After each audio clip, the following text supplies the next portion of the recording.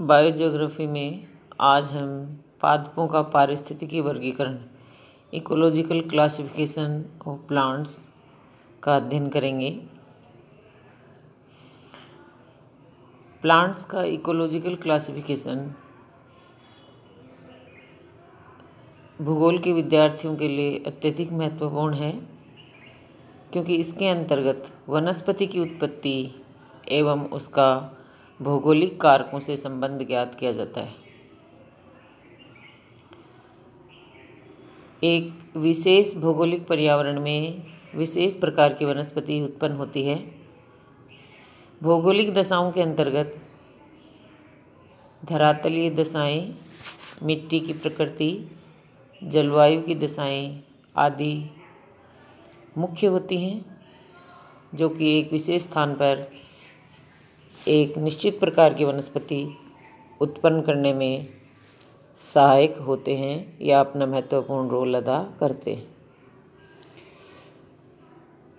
अतः भौगोलिक कारक व वनस्पति किसी स्थान के पर्यावरण निर्माण में एक दूसरे के पूरक हैं। किसी क्षेत्र विशेष में वनस्पति से मृदा का निर्माण होता है। वह निश्चित मिट्टी में या मृदा में एक विशेष प्रकार की वनस्पति पैदा होती है। एग्ज़ाम्पल के लिए अपन बता सकते हैं साइबेरिया के हिमाच्छादित प्रदेशों में कौनधारियों द्वारा पोर्टजोल मृदा का निर्माण होता है, एवं पोर्टजोल मिट्टी में ही कौनधारी वनस्पति उगती है। इसी प्रकार स्टेपी घास के मैदान, चरनोजम मृदा में ही पाए जाते हैं। भूमध्य रेखी वन लेटेराइट मृदा में उगते हैं।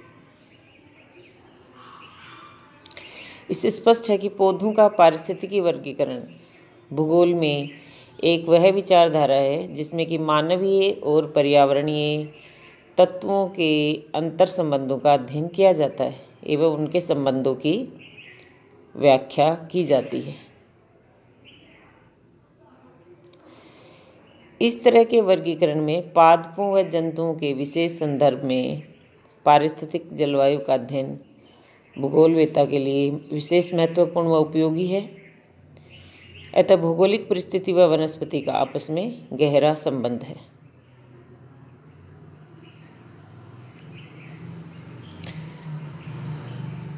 अरस्तु के शिष्य थियोफ्रेस्टस ने अपनी पुस्तक एन इंक्वायरी इनटू प्लांट्स में 500 पौधों का वर्णन किया और उनकी आकृति व बनावट के आधार पर तीन भागों में उन्हें विभाजित किया। वृक्ष, झाड़ियाँ और साकें, यानी ट्रीज सर्ब्स और हर्ब्स हाइट के हिसाब से उन्होंने, जैसे कि ट्रीज जो हैं, उनकी ऊंचाई दस फीट से अधिक होती है।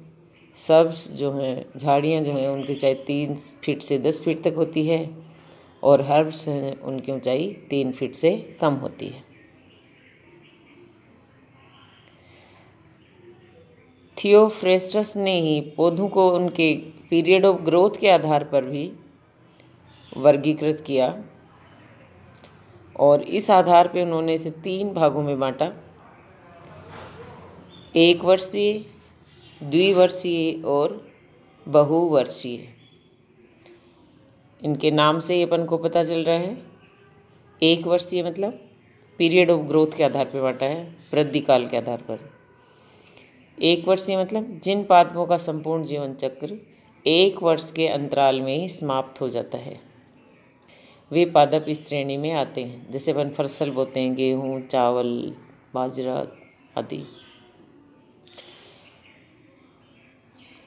द्विवर्षीय मतलब इस श्रेणी के पादपों का जीवन चक्र एक वर्ष से अधिक, किंतु दो वर्ष से कम की समयावधि में पूर्ण हो जाता है। इसमें अपन कपास और गन्ना का एग्ज़ाम्पल दे सकते हैं। बहुवर्षीय, इनका जीवन चक्र दो वर्षों से अधिक का होता है। जैसे अपने पेड़, आप बता सकते हो, आप नीम का पेड़ बता सकते हो, आप पीपल का पेड़ बता सकते हो, आप आम का पेड़ बता सकते हो। यानी जिनका जीवन चक्र दो वर्ष से अधिक का होता है। अब आता है जलवायु के आधार पर पारिस्थितिकी वर्गीकरण।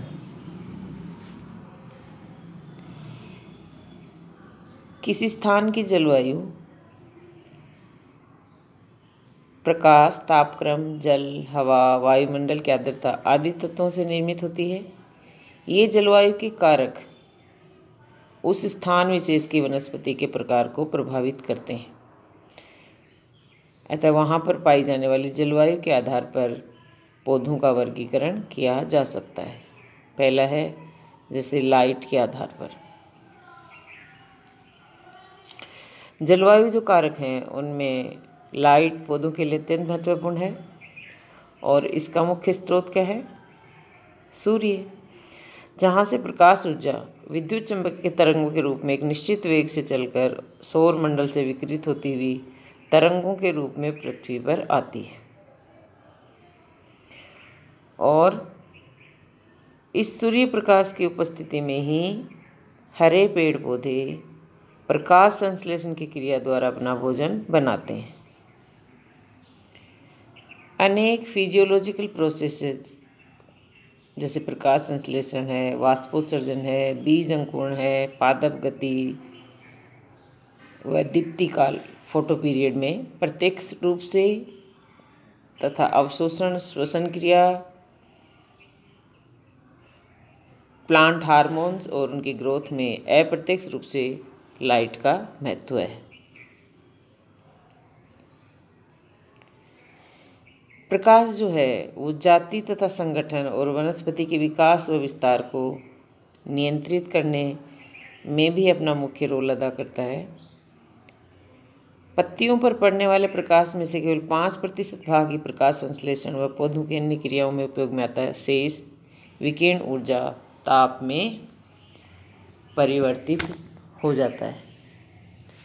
यानी प्रकाश जो है, जो नेचुरल हमें सनलाइट मिलती है, वो पौधों के लिए अत्यंत आवश्यक है।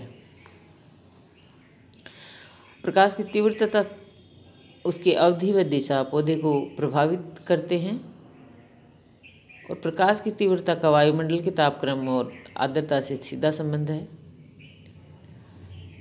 आपेक्षिक आर्द्रता। जैसे जैसे प्रकाश की तीव्रता बढ़ती जाती है, वैसे वैसे तापक्रम बढ़ता है और आपेक्षिक आर्द्रता में गिरावट आती है। सूर्य की प्रकाशीय ऊर्जा का अधिकांश भाग वायुमंडलीय, जैसे नाइट्रोजन, ऑक्सीजन अवशोषित कर कुछ ही मात्रा विकृत करती हैं। ऊंचाई वाले स्थानों, जैसे पर्वतों पर प्रकाश की तीव्रता अधिक होती है, जैसे जैसे समुद्र तल से ऊंचाई की ओर बढ़ते हैं वैसे वैसे हवा की सघनता कम होती जाती है तो वायु की स्वच्छ व पतली परत रह जाती है।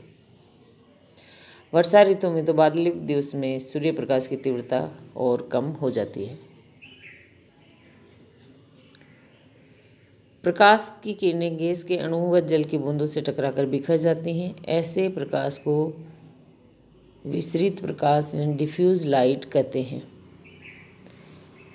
वह प्रकाश जो स्वच्छ वातावरण के समय ज़्यादा तीव्रता से पृथ्वी पर आता है, उसे डायरेक्ट सनलाइट विस्तृत प्रकाश में प्रकाश की मात्रा केवल 10 से 15 प्रतिशत ही होती है। इसके विपरीत प्रत्यक्ष प्रकाश में 100 प्रतिशत मात्रा होती है। विश्व, पृथ्वी के विश्वत रेखी भाग पर पड़ने वाले सूर्य के प्रकाश में अधिक तीव्रता व प्रत्यक्ष सूर्य प्रकाश की मात्रा अधिक होती है। इसके विपरीत जैसे जैसे दक्षिणी व उत्तरी ध्रुव की ओर बढ़ते हैं वैसे वैसे विस्तृत प्रकाश की मात्रा में अधिकता व प्रकाश की तीव्रता में कमी आती जाती है। और जिन स्थानों पर वायुमंडल में प्रदूषण पाया जाता है, वहाँ भी प्रकाश की तीव्रता है वो कम हो जाती है, जो वहाँ पोल्यूटेंट्स पाए जाते हैं उनके कारण। औद्योगिक शहरों के आसपास जो पॉल्यूशन होता है, उसकी वजह से 90 परसेंट तक की प्रकाश की तीव्रता में कमी आ जाती है। और वायुमंडल में पाई जाने वाली नमी तथा वाष्प का भी प्रकाश की तीव्रता पर प्रभाव पड़ता है।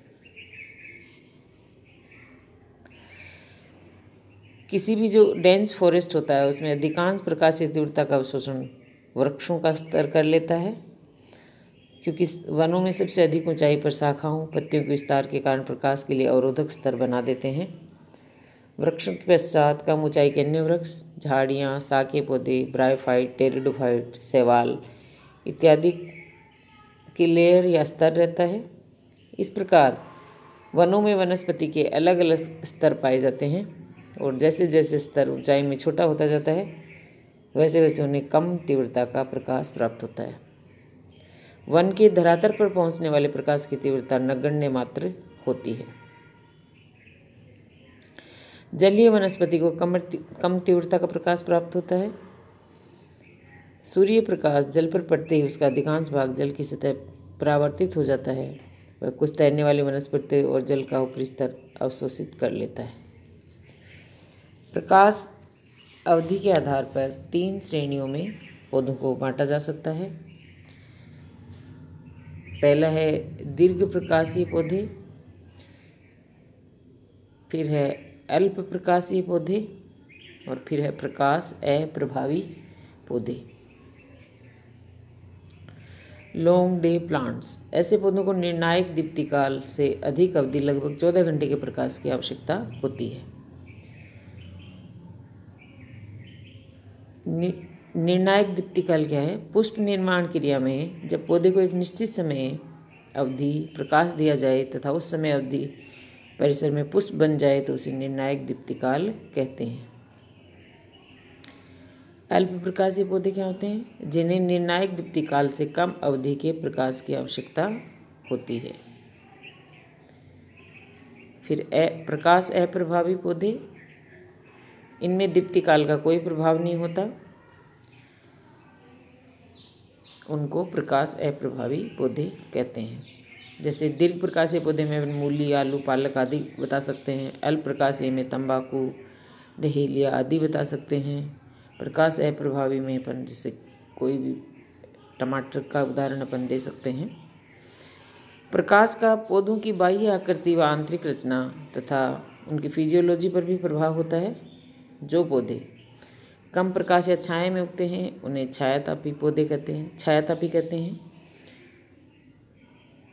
किंतु अनेक पौधे अधिकतम प्रकाश में ही वृद्धि करते हैं, उन्हें सूर्यतापी कहते हैं।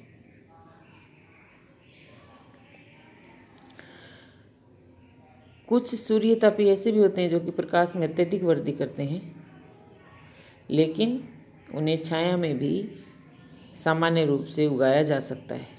ऐसे पात्रों को विकल्पी छायातापी कहते हैं।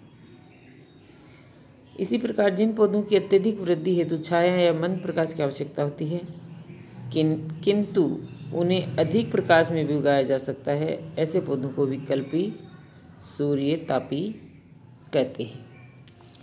तो विकल्पी छायातापी और विकल्पी सूर्य तापी।